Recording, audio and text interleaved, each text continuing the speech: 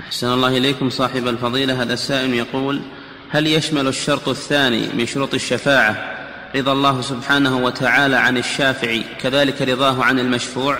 هذا شيء وهذا شيء كلاهما مذكور في الآية. لو كان يغني هذا عن هذا لا لم يكرره الله عز وجل.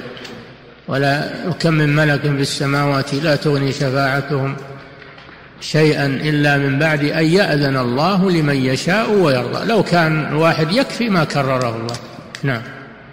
هذا شيء وهذا شيء. نعم.